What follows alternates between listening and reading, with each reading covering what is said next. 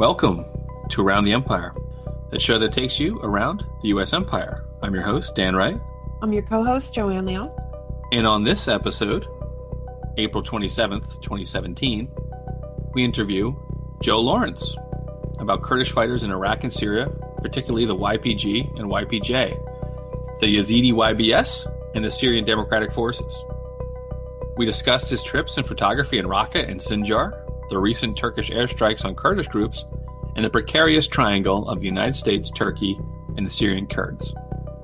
Joe Lawrence, known professionally as Joey L., is a Canadian born photographer now based in Brooklyn who specializes in long term portrait photography projects. He is also a film director. One of his documentaries is titled Guerrilla Fighters of Kurdistan.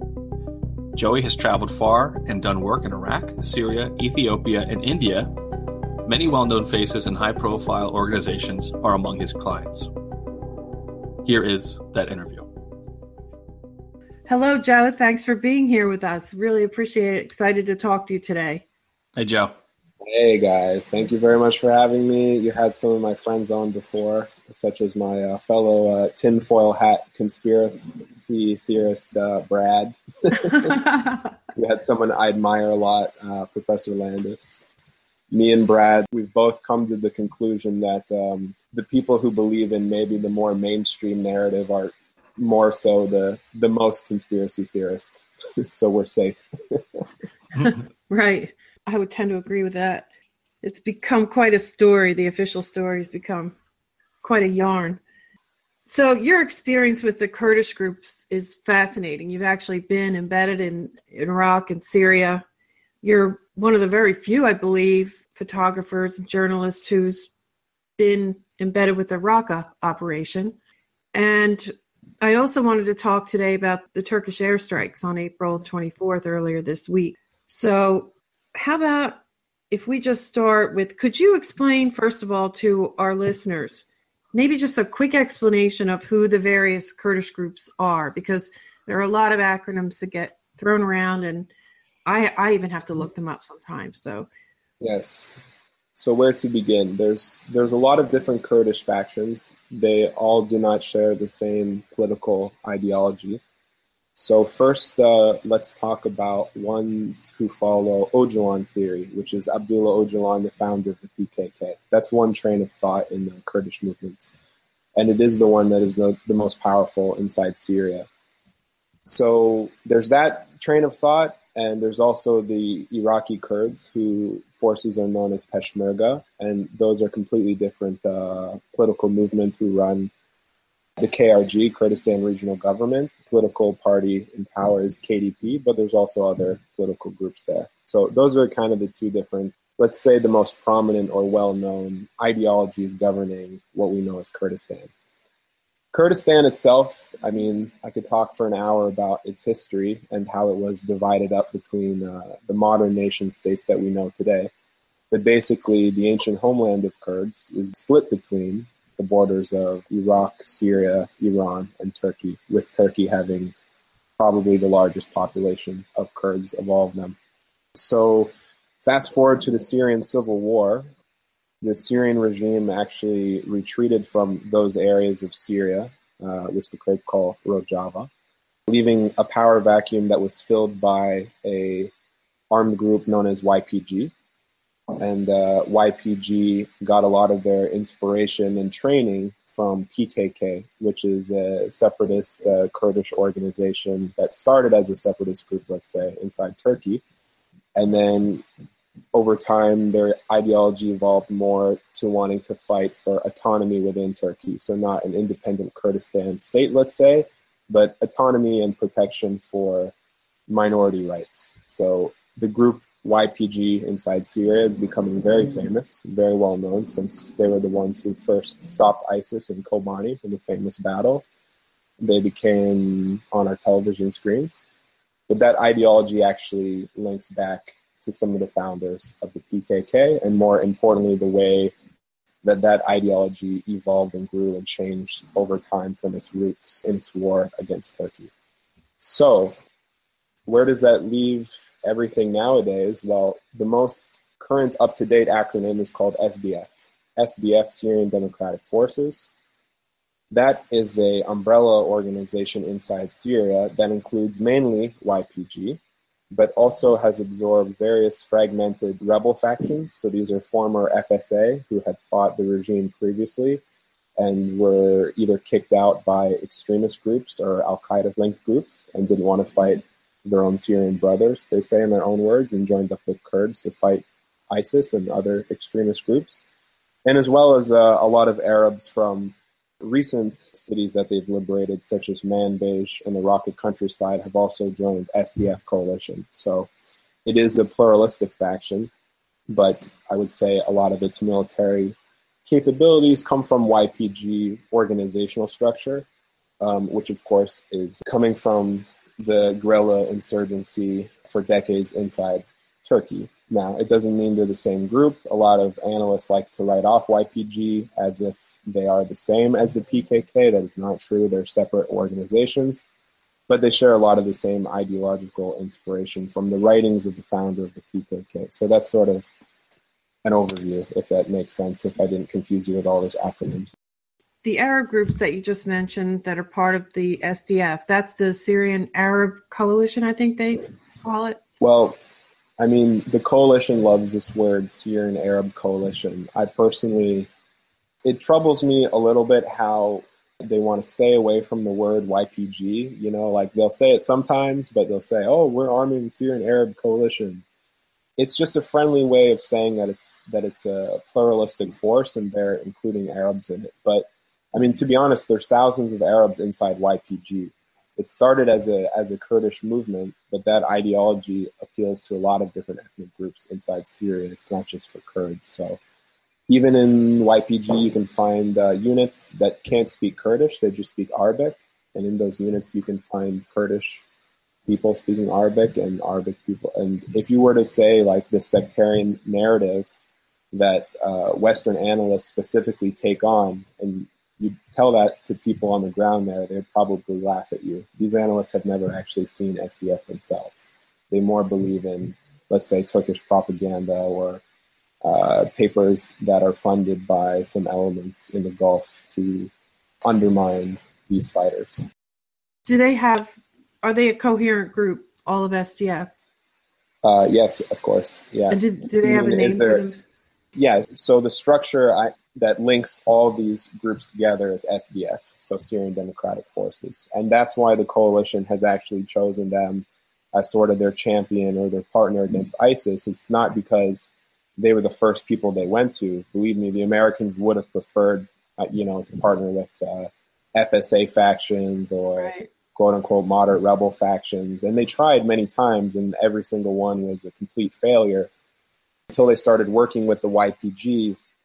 And honestly, the, the thing that separates them is just their organizational structure and uh, command. So when the coalition wants something done, they're talking to a group of commanders versus a hundred different disconnected groups yeah. that, that are the FSA. And believe me, it wasn't it wasn't uh, an easy choice for the coalition to make at this point, and they're getting pressure at every single corner now uh, for this relationship.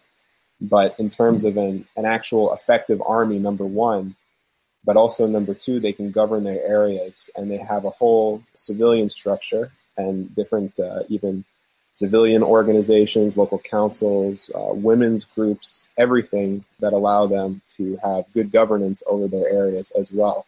An example of this is Manbij. A lot of analysts were saying, and they still haven't updated their articles actually, they were saying that, oh, when YPG enters Manbij, there's going to be a sectarian disaster. The Kurds are going to ethnically cleanse Arabs. Actually, none of that happened. And if you can compare uh, the way Manbij is governed to even some cities that are governed by the Turkish-led Euphrates Shield, those are the, the, the Turk-led rebel groups are just a complete disaster compared to what SDF or some of their um, government structures linked have established. So that's sort of what's what's going on. It it doesn't mean they're perfect by any means, and it also doesn't mean that uh, they shouldn't be criticized or helped along with some good articles pointing out some of the flaws of their system. I think that's so important. even the fact that they're being held to international standards as an armed group inside Syria is quite an amazing thing in and itself. So that's sort of the current uh, situation. So the SDF is this umbrella organization, it's a coalition. When you hear analysts talk about this, they kind of say every Kurdish force fighting is fighting ultimately to establish a Kurdistan entity. To what extent is that SDF's goal, or is it simply to free themselves from ISIS and the Assad government and other places. I mean, what what's the overlap between this claim made by particularly Turkey, of course, and others, or maybe a fear even? That that's a very good question. Those people who make that claim that YPG are somehow separatists from Syria, at the same time they're supporting Euphrates Shield, which looks like a Turkish land grabbing exercise. Okay, um, they also don't acknowledge history and what Syria actually is and how it was formed post Sykes-Picot. What YPG is actually fighting for is not an independent statehood such as the Iraqi Kurds. It's autonomy. Now, if they were offered, you know, full country status, would they take it? well, maybe. but the thing is, is these critics have never actually read the philosophy or the published material that these groups actually say they follow and do follow and share themselves. These are the writings of Abdullah Öcalan. Now, of course, it's easy to write him off as a terrorist leader, but this is very much the philosophy that these groups follow. And for any analyst that wants to study Syria, if they're reading about Ahrar al-Sham, if they're reading about Jabhat al-Nusra, they have to also at this point, because SDF has become so powerful, they're going to have to read Öcalan to get inside their minds. So basically, I will, you know, make the ideology very, very simple for the sake of this conversation. But the idea is is that the state structure becomes a tool of oppression in and itself. So they will criticize the Iraqi Kurds for making uh, their own Kurdish state because they'll say, "What about the other minority groups inside your Kurdistan? Are you going to become the Turkey and suppress them? also we criticize you because do you have real freedom? For example, your state is propped up by Turkey, by oil agreements, by economic agreements. Historically, Kurds have been thrown under the bus by their state sponsor. How is this project any different? Instead, we want a true state. We want a true Kurdistan, and of course, we're going to run it. so that's their uh, ideology. So when we talk about a separatist movement from Syria, it's not really true in the sense that they're grasping for statehood. It's that they just want minority rights uh, for not just Kurds, but all groups in the North Federation, is, as it's being called now. Even Rojava is a Kurdish word for West Kurdistan. They stopped using this word because it felt too Kurd centric. They wanted to reach out to all uh, ethnic groups. Now, what does this mean in the future? It means that maybe a future regime post Assad could integrate this, you know, becoming powerful state into the structure of Syria itself, or maybe they could get full independence. In their minds, I think that's less important than just getting, you know, very basic things such as cultural rights, uh, language rights. I mean, before the war, they couldn't speak their language in public. They couldn't do anything Kurdish even the name Syria is Syrian Arab Re- Republic. So you can see how over time these uh, state uh, structures have suppressed minority groups. Okay, so the response, which was one of the, the basically the European powers carved up the Middle East, which is part of the reason it's so dysfunctional because it was supposed to be divide and rule. So they wanted different ethnic groups at each exactly. other's throats. The actual plan itself was, I think, discovered after the Russian Revolution because the Tsar, the Romanov government got a copy of it it was never disclosed by the, the Western powers. And in this, I guess I want to say the time of Nasser, roughly around that time, there was something called Arab nationalism or pan Arab nationalism, right? Mm-hmm. So the Ba'athist Party, which is both Saddam and Assad, his father as well as him, is a kind of Arab nationalist, although somewhat left wing, uh, kind of in, in, ideology at least, not in practice. In um, Syrian Ba'ath is a left wing, yes. Yeah. So the the fear, I guess, or what they're projecting onto the Kurdish groups is that they are like them and that they have an ethno nationalist agenda and these are two competing ethno-nationalist agenda. Where what you seem to be saying, if I'm correct, is Kurds are not really thinking in those terms. It's more of a sort of independence movement that isn't necessarily trying to build. You're saying a sort of solidly ethno-nationalist program. Is that is that fair, or correct me if I'm wrong? No, that is that is correct, and I think that that's why so many analysts get it wrong and have such a hard time understanding is because it is such a new idea. You can read uh, writings on what they call democratic confederalism, libertarian socialism, these kind of ideas that started off as uh, very uh, anarchist ideas, but but uh, evolved into something actually practical. So all those writers that influenced that movement criticized Marxist Leninism, then they criticized anarchism, and now this sort of new system is uh, basically a large experiment which is being performed inside that region, inside Syria, and um, of course the experiment has its has its flaws, um, but it also, considering that this region is under embargo from every single country that surrounds it, and they've been able to thrive in such a brutal conflict like Syrian civil war, I think is a testament to them doing an actual pretty good job given the limited resources that they have. At this time, in uh, those areas that are run by SDF, they actually have 300,000 uh, IDPs of all different kind of ethnicities. Now, that's nothing compared to what Turkey took in, or Jordan took in, or Lebanon took in, or whatever. But considering this region is in under embargo and no goods are able to actually, you know, move in there, as well as economic restrictions, that's a pretty damn good job. All the while fighting a war at the same time uh, with very light weapons. Of course, the coalition provides airstrikes, but these guys are fighting with grenades and AK 47. So I kind of joke with my Kurdish friends sometimes. It's like if if the American government gave you guys what they gave FSA, you guys would have conquered the entire country by now.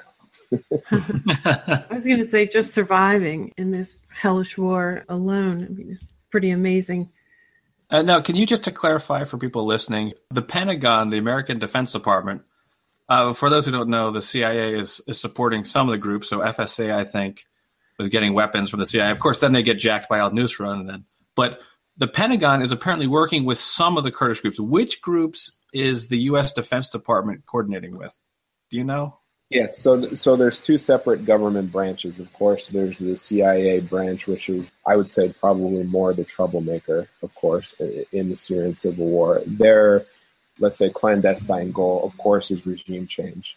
Now, in terms of the groups, you know, through the Pentagon and CENTCOM and all that that back the SDF, their mission focus has been to get rid of ISIS. So, so all of the wings of government that have the goal of getting rid of ISIS have chosen the most effective partner, which is SDF. So, in that regard, uh, SDF is acting as the ground force, and uh, the coalition is mostly in the skies providing airstrikes. Now, at this time, also they have inserted American Special Forces as well, and uh, there's some few hundred now uh, Special Forces actually among SDF, and I've seen them. I've actually run into them on the ground. Uh, we actually weren't supposed to see one, one another, so it's just more of a like. I, I wrote this in uh, article, but it's like a hey dude, I'm like that's it. Weren't they actually on a roof? yeah, they were preparing some equipment for an operation, and they were taking orders from uh, Rojda and coordinating with her. She's the leader of uh, this Raqqa operation. But they're on the ground and they're fighting. They're using heavy weapons. They're also calling in airstrikes directly because I'm not a military expert, but I would imagine when an SDF commander calls in an airstrike, it probably has to go through a certain level of filtration to verify the target before the jets uh, doing sorties above can strike. But if a special forces member is there and calls it in, I would imagine it can just, you know, go right away. So there's that advantage to having them there. And also, there's been a recent buildup of American bases um, in that region. You can actually see it with uh, satellite imagery of uh, entire airstrips being paved, uh, concrete bunkers going up, as well as a lot of uh, helicopters and U.S. Army Strykers uh, build up. So some people aren't, you know, I was kind of thinking after Raqqa, after ISIS is gone, this is when America backstabs the Kurds once again. But after seeing those bases, I don't know if they're ready to kind of stay there for the long haul or just to have a wing inside Syria, a country where they would, you know, never be allowed to have a base before the war. Maybe that's the big plan, but for most of us, I think it's up in the air and nobody really knows what's going on. Or they could turn those bases over to the Kurds. Yeah, well, they'll. Yeah, it's it is it is already under the control of the Kurds in a way because I mean the Americans do have such a small footprint in there compared to SDF. Um, they are under the authority of SDF or of that region, but what they're planning to do with all these materials, I'm not really sure to be honest. And I think the reason I kind of wanted that clarification because so the SDF is coordinating with the Pentagon to to take on what is President Trump's reportedly primary goal, which is to destroy ISIS. Now let's talk about this airstrike by Turkey, which is what is so confusing. If you're being told that, or if you have the situation where the, the U.S. is supporting a group to overthrow its use its primary goal, ISIS, and now you have Turkey. Now Turkey attacked SDF forces, correct?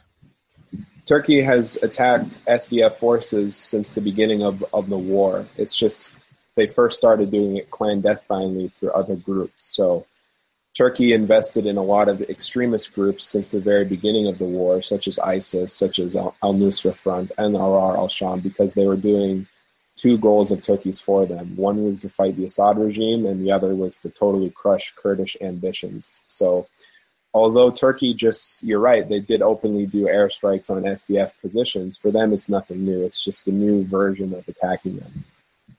Now, why is this? It's because Turkey likes to, you know, put a blanket on all these groups and say that they're all PKK. You know, this is the same terrorist group, you know, we've been fighting since 1984. They're all the same. There's no difference between them, blah, blah, blah. They're just a Syrian branch. So that's how Turkey gets away with striking uh, YPG, uh, as well as a Yazidi militia called YBS, or the local dialect uh, Yebeshe, way of pronouncing it. But I'll say YBS, it's easier. Because they just can paint this terrorism umbrella over all of them, because Turkey's biggest fear is what happens when across the border we have Rojava, Kurds get their rights. Uh oh, in Iraq, Kurds are getting their rights. What happens when our own native Kurdish population that we have also suppressed starts to get inspired and rises up. So this is very troubling for Turkey. So even they'll attack former FSA groups that are alongside SDF and also call them PKK. So these new airstrikes, I believe that they're a way to challenge uh, the U.S. relationship with SDF because I think rather stupidly, the U.S. administration has said SDF has no links to PKK. They're no, nothing at all. They're separate organizations, but to say they have no links is just like really stupid. Uh, because now it's coming back to haunt them. Because what Turkey's doing is at the same time they striked YBS and PKK in Sinjar Mountain in Iraq. The same strike they strike YPG in, inside Syria, and they listen. They put their ear to the ground and they say, what are the Americans going to do? Are they going to say, we are against the ones in Syria, but it's okay in Iraq because that's PKK?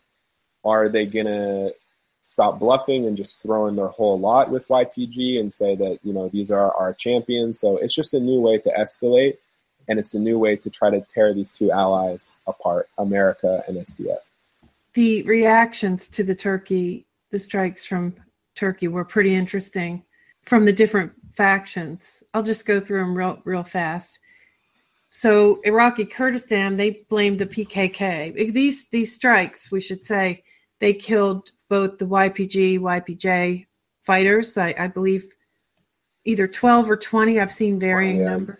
Yeah, they also killed the entire media department of of YPG.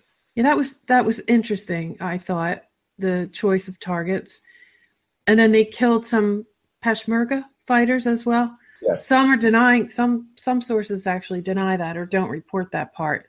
But the government of Kurdistan, or I guess specifically the Peshmerga ministry, right away came out and justified that because this would be very embarrassing for them that their that their ally Turkey killed uh, their own fighters, and so they immediately blamed the PKK. And they said the PKK have to get out of Sinjar and so on and so forth. So that was the first reaction I saw, actually. The Iraqi government, a little bit later, they condemned the strikes, but they mainly focused on it being a violation of their sovereignty. So the U.S. State Department condemned the strike. They, well, they said they were very concerned, deeply concerned. That was the first reaction. Yeah, they're running They're out of words. really between a rock and a hard place here. Got their NATO ally attacking their most crucial ground force ally in Syria. The YPJ was really not happy about that from what I saw, and they said that the United States has to do a more concrete, I think they used the word concrete response. They weren't happy with the very serious, you know, warnings, verbal warnings. And they actually said that they might pull out of the Raqqa operation if the United States doesn't do a more appropriate response. So after that, I saw on social media, I saw CENTCOM put out a message and they said, quote, we are troubled by Turkey airstrikes on SDF and Kurdish forces. Our partner forces have been killed by Turkey strike. They have made many sacrifices to defeat ISIS. We believe that our partner forces were struck in northern Syria and our Peshmerga partner forces were struck in Sinjar, Iraq. So they made it very specific, you know, called them their partners and such. And then the last thing I saw was, uh, I think it was the State Department said those strikes by Turkey threaten the safety of our coalition personnel. So that was a pretty serious warning, you know. Lastly, Erdogan said, well, we're just going to keep doing this. Our operations in Shingal and northern Syria would conti- will continue, he said. So just so you can, you know, just to put lay that out there. And the Russians and Syrian Syrian regime purposely waited to put out a statement, and then a, a little bit later they also condemned it. Oh, that's yeah, But they were waiting. yeah that's they were interesting. doing a, they were doing a dramatic pause on purpose. huh? That is interesting. I that's funny. Yes. I didn't notice that. Yeah. So I think the strikes on Sinjar Mountain need their own separate history of why they're important, and I can walk you through what actually happened there if you're interested. Please. Yeah, everyone should remember too that you know, the plight of the Yazidis being massacred by ISIS Yes. is the whole reason why the United States is back in Iraq. I mean, nobody thought you could ever get us uh, to put troops back in Iraq. But as you know, President Obama, I would say, seized on that particular event to convince the country that we needed to put boots on the ground back in Iraq, although at the time he was saying it would just be airstrikes, he specifically said we will not have boots on the ground. And but as we know, we do have boots on the ground. They're just advisors. sneakers, Yes. So moccasins. In uh, in August 2014, when the Islamic State was doing their huge offensive in that region, and um, they were approaching Sinjar Mountain, the more conventional forces like Peshmerga and Iraqi army, they were all fleeing from every area, including Sinjar itself. Now, ISIS at that time was coming from a variety of places, but mostly Tel Afar, and they'd committed, you know, atrocious uh, war crimes, and it was very apparent what this group was capable of. But basically, those forces left uh, Yazidis to sort of fend for themselves, and they had evacuated that area. They actually also confiscated weapons from uh, some Yazidi villages and things like that, basically just leaving them to themselves to get slaughtered. I even spoke with some Yazidis who had tried to get away, and Peshmerga had closed uh, checkpoints saying everything's fine, you shouldn't leave, ISIS isn't coming, blah, blah, blah. So you can believe, you know, what chain of events you want, but let's say the Peshmerga retreated from that area, which, by the way, Sinjar is a disputed zone between Baghdad and KRG, and on paper it doesn't really belong to one or the other. So the idea that KRG releases a statement blaming these strikes on PKK and they should leave, actually, they don't really have the right to say that, nor does Baghdad. And my personal belief is that the local people, Yazidi people, should be allowed to vote and choose whatever they want, whether that's uh, self administration, their own autonomy, which, after talking with the Yazidis, that's what I think most of them want. And uh, they don't have to be a part of PKK government structure or Rojava, nothing, just self determination. But if they want to be part of KRG, that's fine too. They can vote for that. If they want to remain part of uh, Baghdad structure, they can vote for that too. But neither of those groups is really letting them do that at this time. So back to August 2014, after those forces ran away, we had what has been recognized now by the UN as a genocide. So ISIS came in, uh, they killed thousands of men, kidnapped thousands of women for uh, sexual slavery, as well as, um, let's say, slaves that were taken back inside of um, their territory. So we see a lot of ISIS tunnels and things like that being dug. I really doubt it's their fighters. It's probably men that they have enslaved from not just Yazidi, but probably Shia groups and everything like that. Just doing labor in, you know, all kind of horrific conditions you can probably imagine. So the Yazidi were being slaughtered, and some individual YPG fighters came down from Syria, Rojava, and entered Sinjar Mountain through Syria, and they established a humanitarian corridor and through that corridor, they managed to start saving Yazidi families and evacuating them. This was actually before YPG command gave an official order to do it. This was just individual Kurds being moved and going to help Yazidi people.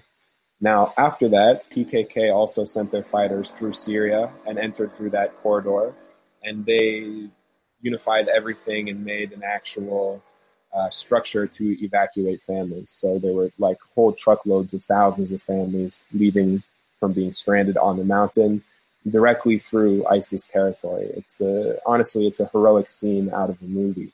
And those people who did that don't get enough credit for it. So now you have thousands of Yazidis settled in uh, Syria, as well as other parts of Iraqi Kurdistan and basic in Turkey and everywhere from being displaced.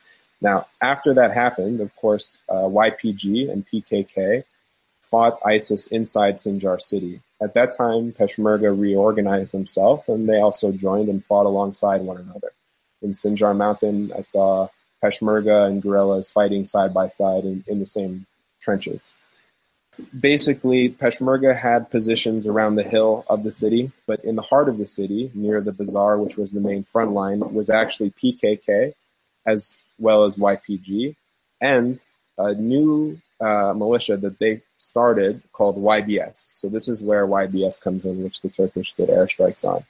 So YBS are made up of Yazidi people, former refugees who ran away, that joined this new armed group and got training by PKK commanders to have their own force. So ideologically, a lot of the things PKK tell them really resonate you know, this is the blueprint for self administration, for cultural rights. All those things make sense, especially when you're a refugee and your family just got massacred. Remember that refugee camps are prime recruiting grounds for many armed groups. So Yebeshe is a Yazidi centric militia that's focused on Yazidi rights. So they fought inside Sinjar as well as uh, on the front lines near the bazaar as well after ISIS was defeated inside Sinjar, that's when all these different factions uh, started to have a rivalry. You know, when your large common enemy that is the glue that holds you together is gone, then you start the infighting. So that's what's actually happening now. There's been a lot of tensions building up between uh, YBS and Peshmerga because YBS says, We're from here, we're Yazidis from Sinjar, and we actually do not want Peshmerga here and then Peshmerga say, no, this is uh, under the authority of uh, KRG. All you guys are just a bunch of PKK. Get out of here. But actually, 80% of YBS is locals from Sinjar. So they cast this PKK uh, blanket on them. Now, on my first trip to Sinjar in uh, March 2015, it is true that PKK had a much larger presence than they do now. But after the city was liberated, all those same commanders went on to fight elsewhere, especially inside Turkey a lot of the commanders that I met that fought inside Sinjar uh, in March 2015 ended up dying in uh, places like Sur, uh, inside uh, the Kurdistan, inside Turkey. So all those commanders left, and um, it's mostly Yazidis now. So those strikes that Turkey did, I say, were on survivors of the genocide, and they are Yazidi people. And from their own minds, their own belief, the view from the ground is that Turkey is just trying to massacre us once again. They first tried with their proxy force, ISIS, they failed. Now they're trying to blow us out of the sky. So this is how the viewpoint is kind of how these views really resonate from, from the ground level. So this is just going to solidify antagonism from the, the Yazidis and Kurt. Obviously, this, the effect of the bombing is going to make it. I mean, I imagine there's going to be retaliation, or at least there's going to be ill will, and and having any prospect of ending uh, the difficult relationship between Turkey and Kurdish insurgents or Kurdish people within Turkey. I mean, that's a pretty fair analysis, right? That's exactly what Turkey seeks to do, actually. They want to drive a wedge between America and their key partners, and they want to say, how far are you invested with these groups? Because everyone knows what's going on. They know these groups are linked. So are you all in with the Kurds or are you with us? What are you going to do? So they're making their PR efforts very, very challenging. Also, the two places that they struck are very interesting in and themselves. I've actually slept in the bases that they blew up. Wow. The main, the main key one on Sinjar Mountain is a communications uh, radio tower. So you can imagine this is also a group headquarters for broadcasting out command as well as a local radio station. On the Syrian side, it's also a large radio tower and it's a place which is known to be visited by high commanders within SDF. So they're probably looking to assassinate media ap- apparatus, communications, but as well as key leadership. Um, and in that effort, they actually failed, although they did kill uh, 20 SDF fighters. Couldn't this also backfire? Because if you're the Trump administration, you don't care about human rights, you don't care about democracy, you don't care about any of those things. In fact, you're, well, briefly, we're kind of saying Assad can stay and then this other thing happened.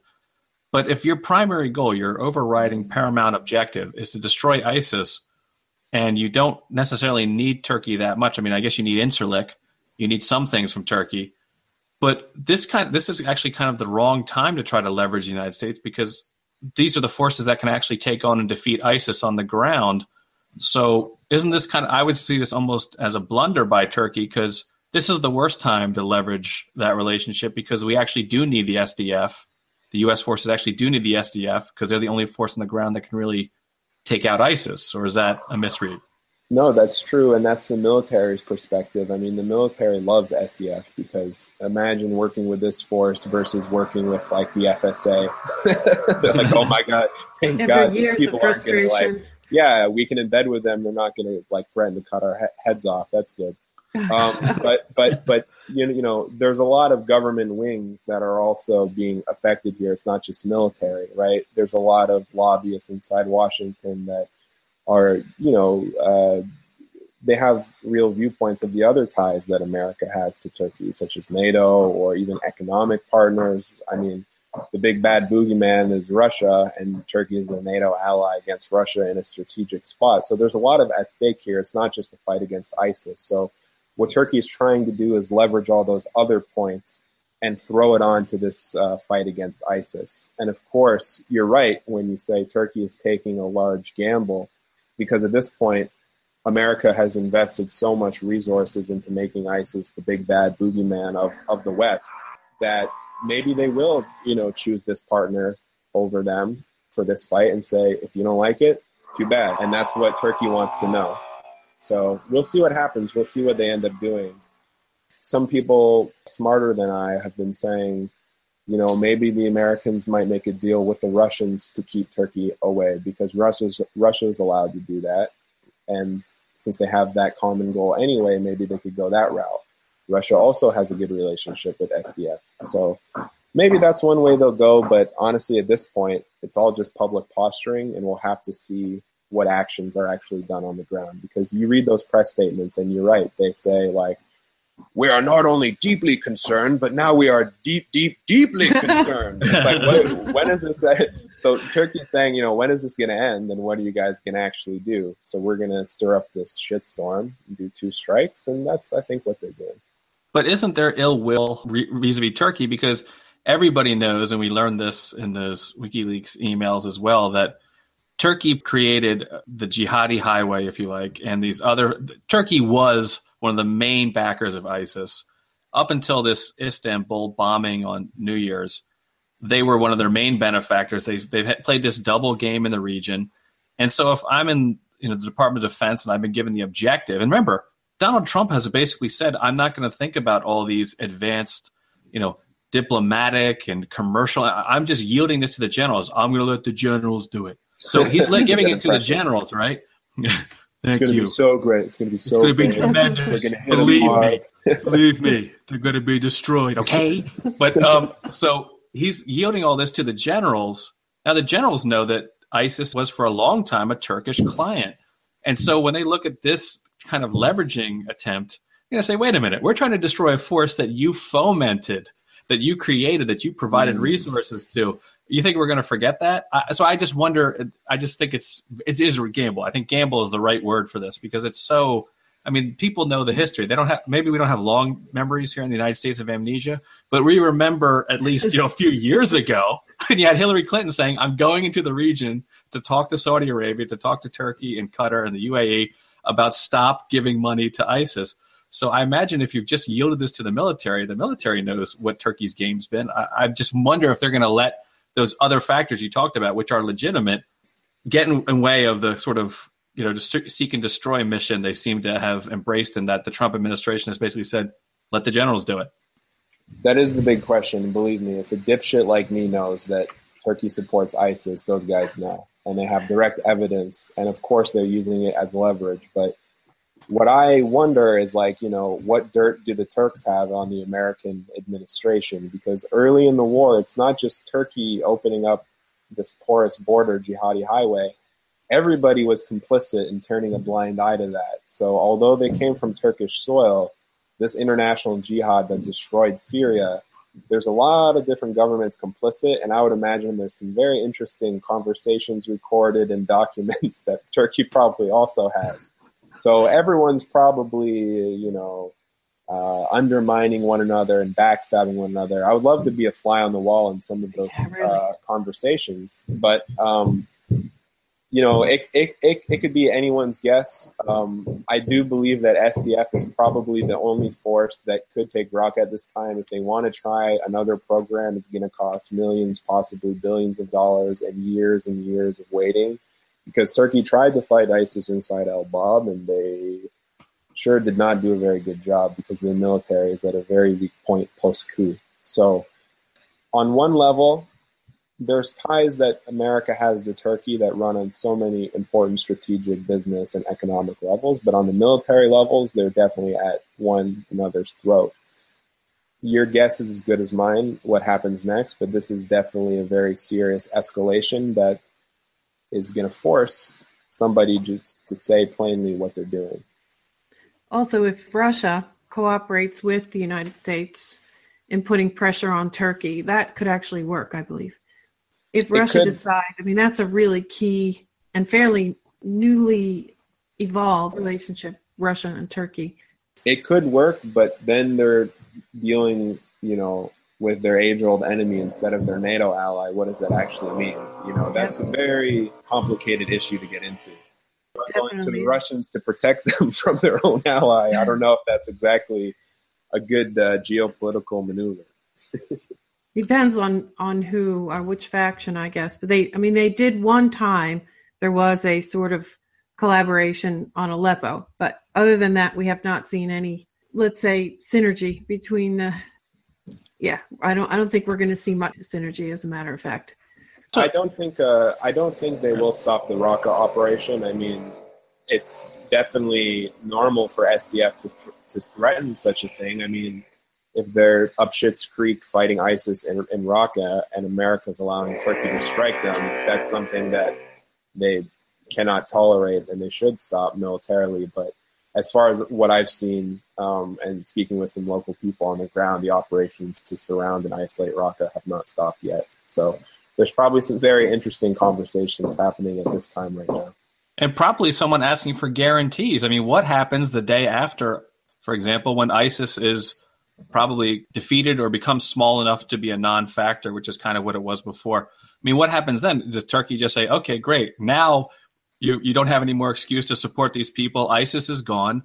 and now we're really going to go to town. We're going to have all these airstrikes, and what does the U.S. do then, or what does anybody else do if if after ISIS the the main uh, reason that the U.S. feels compelled to work with them in this specific instance is defeat ISIS? Well, what happens after ISIS is defeated? Does Turkey then say, "Okay, gloves are off"? That's why SDF has kept the channel open with the Russians and with the Syrian regime. It's not because they like them. I mean, the uh, political party, the PYD's leadership, has been tortured and assassinated by the regime before the war. They do not see eye to eye, believe me. But the thing is, is you're right. When America goes, does this movement have a better chance? Um, you, you know, having a relationship with some post-Assad regime versus the Americans if they're just going to have a military agreement only. That's fine. Maybe they've both agreed on that, and uh, maybe they'll have to go to the other side to uh, protect their autonomy after. I mean, these groups, since the starting of the Syrian war, YPG didn't want to wholeheartedly join the revolution because those rebels could not guarantee their rights. And they found that those backs, those groups were being backed by their supreme enemy, Turkey. So why would they join a revolution to overthrow the regime with the same groups that are fighting them are going to oppress them equally or maybe more so? So they didn't join the rebels. They were neutral to the rebels. At the same time, they didn't want to join the regime. They wanted to be neutral to the regime. So they kept this third path, and now that's sort of being decided what is uh, the future of this. Now, the Syrian regime and the Russians could easily make an, an agreement with Turkey to weaken SDF as well, because maybe they see eye to eye on crushing Kurdish ambitions uh, for that reason. So, yeah, there's a lot of ways that SDF can sort of um, become a major lever in this war. And I, I said this on another podcast, but for us who studied the Kurdish side of the war, it used to be a very fringe sort of like on the side thing that everyone else believed was kind of a sideshow and didn't matter. But nowadays it's becoming really, really important and probably one of the most uh, powerful factions inside Syria. Definitely does matter. I feel like we have not spent any time on your your work here, which is I'll put some links in our show notes, but really I'm not just saying this because he's here. I mean, he's done extraordinary work with the Kurds. And some of the portraits that he's done of with the time he spent in I believe most of these came from the Raqqa operation, but I haven't even gotten through all of them yet. But for example, Joe, you spent some time with the leader of the uh, Wrath of Euphrates operation, which is that's the the Raqqa operation. I don't know how many people know who's commanding that operation. Can you tell us a little bit about her? And for our listeners, I'll put a link, and you you have to see the the portrait and the photos that are there. They're they're stunning. I mean, my work is uh, portrait photography. I'm not really a photojournalist, although some things sort of stylistically bleed over. But I've always been a portrait photographer, and a lot of my projects are very long term. So they include very long visits to these regions. I mean, the longest trip I had in Iraq and Syria was 40 days embedded with these fighters. So it takes a long time. And um, basically, um, it starts with portraits, but I also get, you know, seeing them uh, working and observing them in their environments as well. So with Rojda, Rojda is the leader of the operation um, from YPJ of uh, Wrath of the Euphrates, which is the one that's uh, isolating and surrounding Raqqa. And um, she's not just like a lot of people think, oh, look at these groups propaganda, putting a woman front and center to get like the Americans on board. That's actually not true. Rojda is a real uh, military leader. You can actually see some articles that Jack Murphy wrote on SOFREP where he interviewed some uh, special forces who worked alongside Rojda. They all say that she's a badass. but uh, yeah, no, she's a real mil- military leader. Um, her role is more organizing the various units into one unified vision. So she'll go around the front lines and make sure that um, people have what they need and one group is communicating effectively with the other.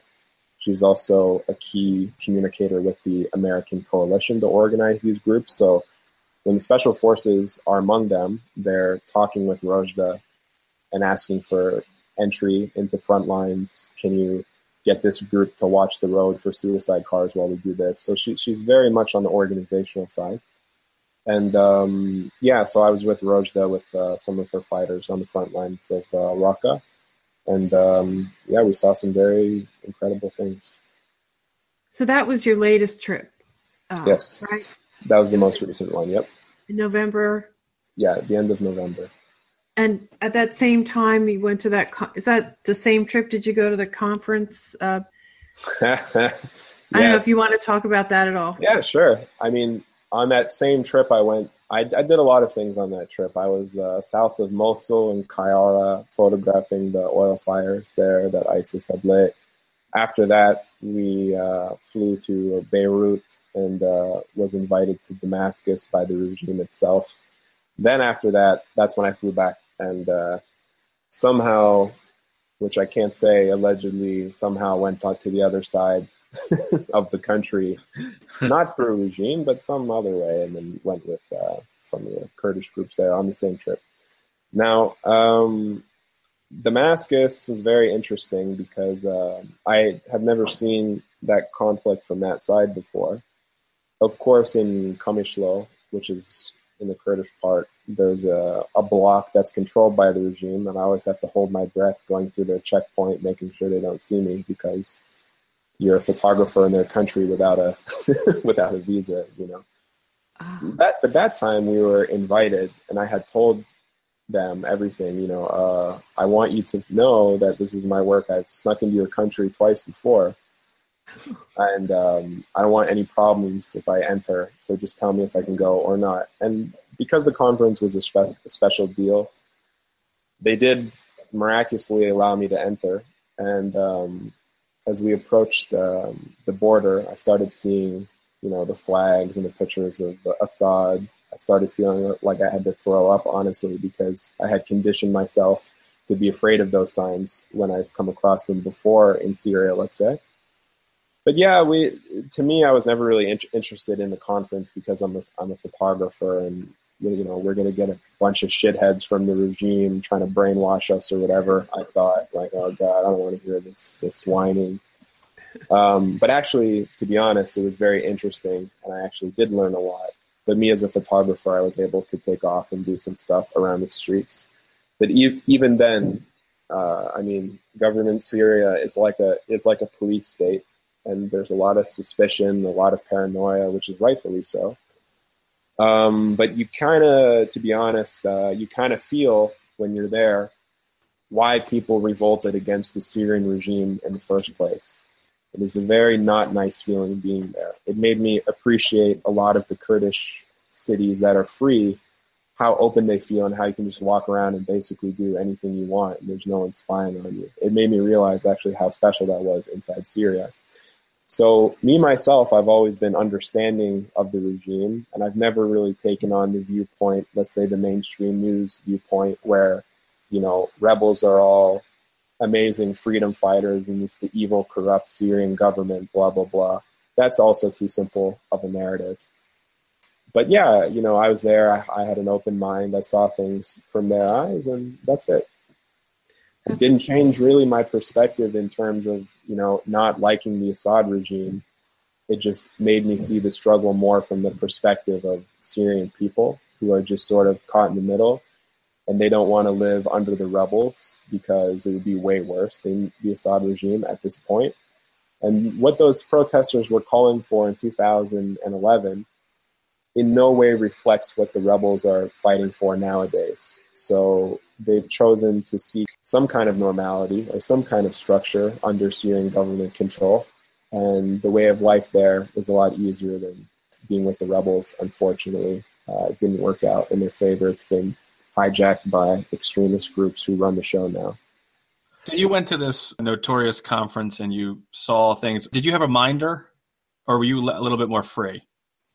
Yes and no. So when I wanted to go out and take photographs, there was a government minder, and it was very annoying because it's not like local people don't want you to have their photo taken. It's just like there's a level of suspicion. So if you like you're in a government area and you raise your camera to take something, those people themselves will go get the army and tell on you. It's actually very sad because they're suspicious. Oh, is this a terrorist? Uh, he looks like ISIS, you know, because a lot of ISIS are foreigners.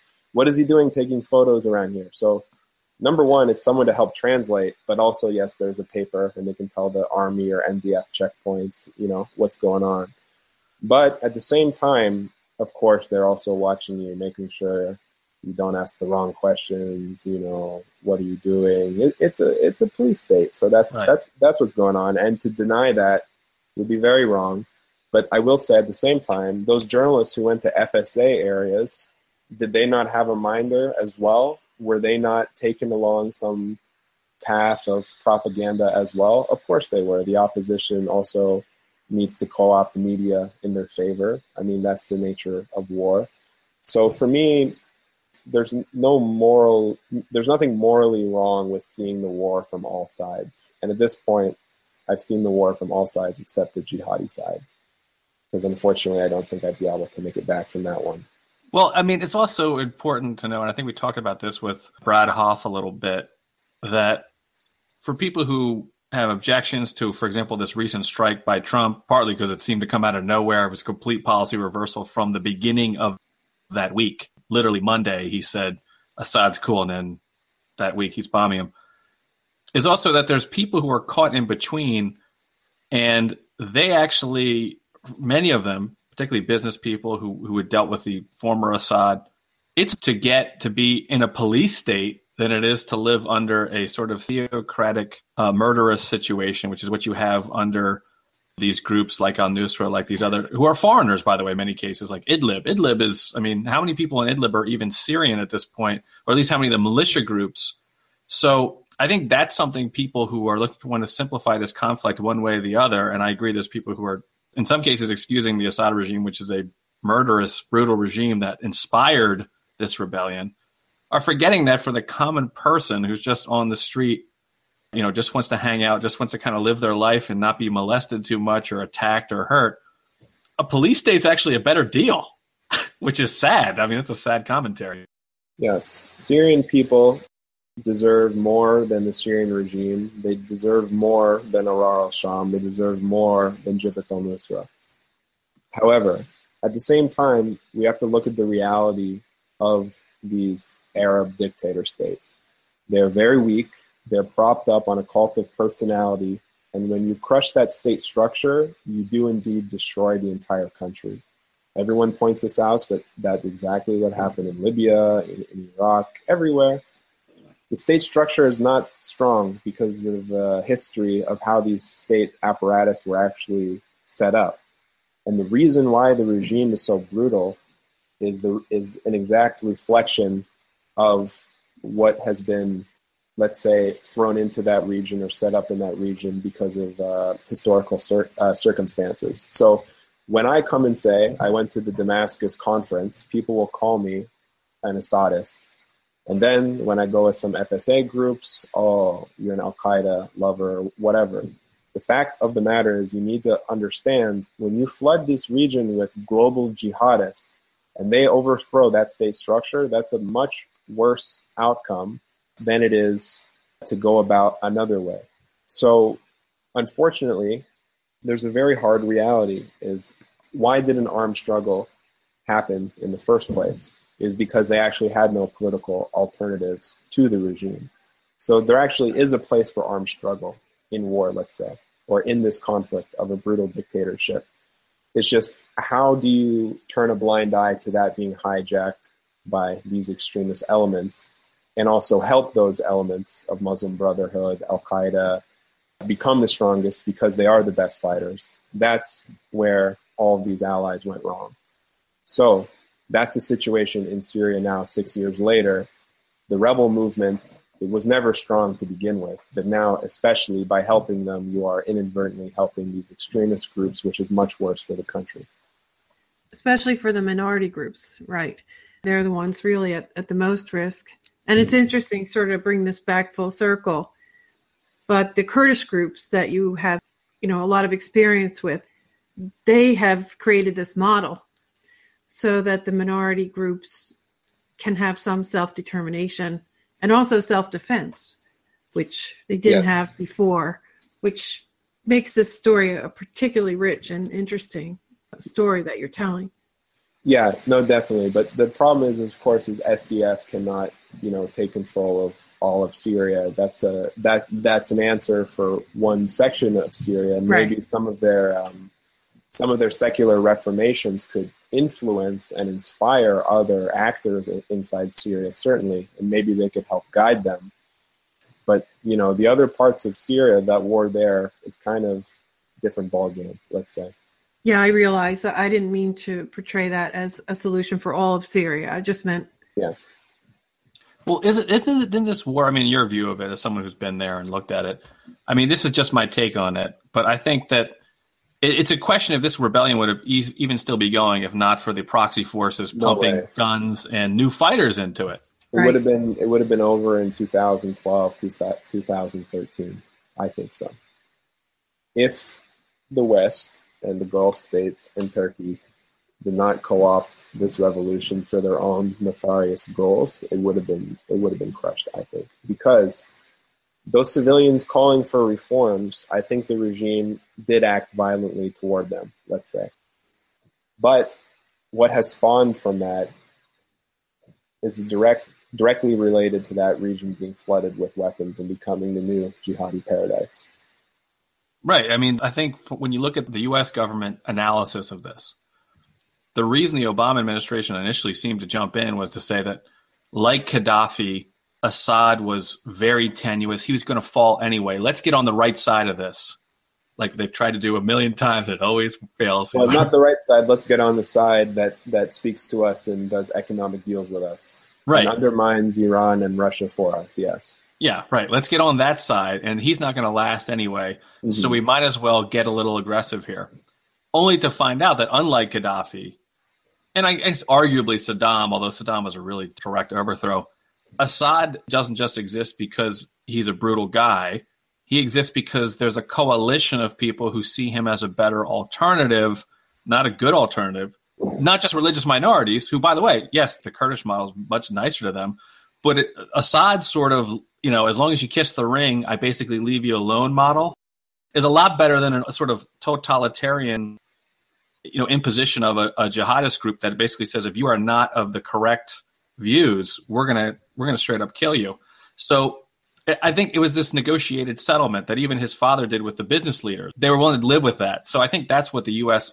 It seems to be underestimated that he had a little bit more actual traditional constituency, if you say, than just brute force. Well, America loves dictatorships. They support a whole bunch of dictatorships, except those dictators listen to what they say and have good deals with them. The dictators they don't like, they have this rhetoric to overthrow them, such as Assad.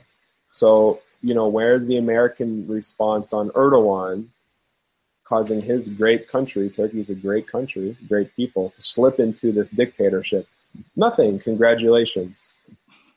Okay, what about Saudi Arabia, this dictatorship? Nothing. We have good business deals. Oh. So look at how America's response was throughout the Arab Spring. Which governments did they protect and not speak out against the uprisings, and which ones did they did they speak out, out, out, against? They supported the uprisings of the people who wanted to overthrow dictators that weren't listening to them, such as Assad. And again, that doesn't make me an, an Assadist to say that. It's kind of common sense of looking like Egypt, what happened there versus inside Syria. Or Bahrain. Yeah, Bahrain. Yeah, that's that's a good point. I, I couldn't really speak on that one. I haven't looked at it too closely, but I'm sure any any Gulf state with lots of oil and money, mm, maybe don't support overthrowing that one because if you do a business deal with uh, Sheikh so and so, his son is gonna also inherit the same deal down the road. So business wise, it makes more sense to do deals with dictators for stability and reasons like that. But you, know, I, I don't think there's some Machiavellian evil council driving this. It just sort of happens by itself in the way of business and the way that you know lobbyists are co-opted to go with the status quo. I think that's what actually happens. So that's why this sort of hive mind uh, took over the psyche of Americans with the Syrian war, and that's why all journalists, not all journalists, but let's say mainstream journalists, sort of in their writing co-opted and took the tone of their government itself earlier in the war. And now people are starting to see the ramifications of that, and we're getting all this blowback. Yeah, and there's and there's also a sort of cynicism, I think, in the use of the humanitarian aspects of it, which of course it's incredibly brutal, but you've got another horrifying war that the U.S. is also directly involved in in Yemen, and it doesn't get any airtime, it doesn't get anything, but any any terrible act in Syria becomes the here's the new Hitler. Well, I mean, Spicer kind of blew that line with his weird references to World War II that aren't really accurate, but it seems like that's a selective use of the U.S. outrage machine, and I just wonder if that has been co-opted so thoroughly to just essentially, when you look at the end of it, keep a war going that should have already ended. Yes, well, I remember when the rebel group, I believe it was Sultan Murad, it's a Turkish-backed group inside Aleppo, used chemical weapons on Sheikh Maksud neighborhood. It's a Kurdish neighborhood. Now, it might have not been sarin, it's probably more like chlorine or some, you know, dirty bomb that they had made or whatever. But the thing is, is there was so much evidence of that. There was literally videos of a yellow cloud sitting over Sheikh Maksud. And at that time, YPG were trying to call attention to this atrocity and nobody cared. Nobody paid attention that the rebels had used this kind of outlawed chemical weapon on a Kurdish neighborhood. Now, at the same time, I think the regime does have more responsibility than ragtag rebel groups. If they are claiming to be uh, the rulers of Syria, you know, we're going to have to judge them by different standards than some, you know, Turkish-backed group uh, doing atrocities on a Kurdish village or Kurdish neighborhood. But at the same time, there was no outrage. Nobody actually wrote about it at all. Even more disturbingly, when Turkey was completely destroying the southeast of their country in Kurdistan. Actually, nobody wrote about it, did a report until months and months later, meaning mainstream media. It was very troubling.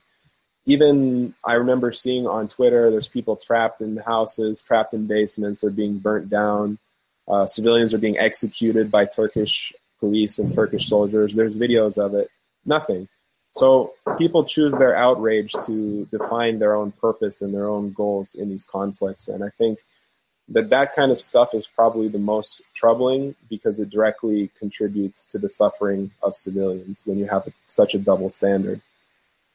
I couldn't agree more with that. You you put that really well. Hey, listen, we've kept you. If you want to try to wrap this up, or yes, time time flies when your tinfoil helmet's on. So I feel I still feel like we haven't talked enough about your work. So tell us a little bit. Uh, where can people find uh, your work? Tell us about any projects if you like that you'd like uh, to talk about, or upcoming films, or. Yeah, the best way to follow what I've got going on is um, on social media. So my Twitter and Instagram are both the same. It's joeyl.com, but dot is spelled out D O T C O M. So J O E Y L D O T C O M. And that is also my website, joeyl.com, but real.com. and um, yeah, you can follow me. Anything I've got coming out, I will put on those channels.